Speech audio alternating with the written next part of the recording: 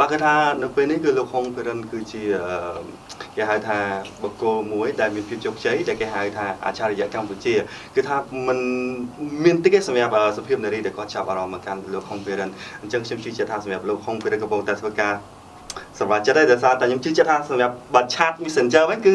រាប់មិនអស់តែម្ដងតើធ្លាប់មានសភាពនារីខ្មែរយើងឬក៏ជនជាតិថៃណាតាក់ទងមកទេចំពោះខ្ញុំហ្នឹងគឺខ្ញុំមិនទាន់គិតដល់ថ្នាក់ហ្នឹងទេបងគឺខ្ញុំកោដៅរបស់ខ្ញុំ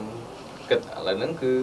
ធ្វើម៉េចរៀនចប់សិនបាទរៀនឲ្យបានកាន់តែខ្ពស់កាន់តែល្អហើយដើម្បីយកចំណេះដឹងហ្នឹងមកអភិវឌ្ឍប្រទេសជាតិយើងបាទបាទអឺចុះបើបើសិនជាយើងចំណាយពេលទៅការរៀនច្រើនអញ្ចឹងតើគិតថានឹងយកប្រពន្ធអាយុប្រហែលជាប្រហែលឆ្នាំដែរអឺខ្ញុំមិនទាន់ច្បាស់ទេហើយបាទមិនទាន់ច្បាស់ទេថាតើខ្ញុំនឹងយកភរិយានឹងអាយុប្រហែលប៉ុន្តែ ឥឡូវហ្នឹងកោដៅរបស់យើងគឺកោដៅរបស់យើងគឺមានតែមួយគត់គឺរៀនតែបានខ្ពស់សិនបាទរៀនបានខ្ពស់រៀនបានចាប់ចង់ចាប់ដើមបាទឥឡូវសួរមួយទៀតថាចឹងអញ្ចឹងបើសិនបើ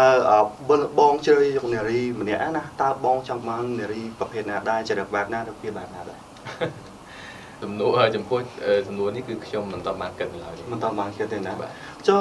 តកតងជាមួយនឹងផ្លូវជីវិតទៅថ្ងៃមុខទៀតតើបងបានគិតហើយនៅតែបើសិនបើបងមានភាពជោគជ័យឥឡូវនេះគឺថាជោគជ័យមែនតើទាំងកម្ពុជាទាំងថៃគេទទួលស្គាល់ហើយតើបើសិនជាទៅថ្ងៃអនាគតបងចង់ប្រកបរបរអ្វីឬក៏បង្កើតអ្វីដែរទៅអឺសម្រាប់ខ្ញុំហ្នឹងគឺខ្ញុំចង់យកចំណេះវិជ្ជាដែលខ្ញុំបានរៀនពីប្រទេសគេបាទពីស្រុកគេហ្នឹងបាទមកចូលចូលរួមចំណែករបស់ប្រទេសជាតិយើងអញ្ចឹងការ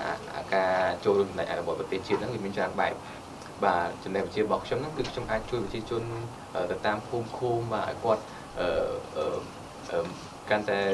មានស្នាមញញឹមអីចឹងទៅបាទហើយមួយទៀតហ្នឹងចំពោះចំណេះដឹងដែលខ្ញុំ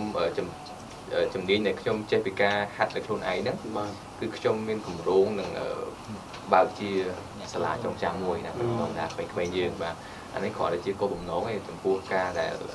អាចនឹងកាត់ឡើងកាត់ឡើងអានឹងចាំមើលទៅអនាគតទៀតបាទបាទ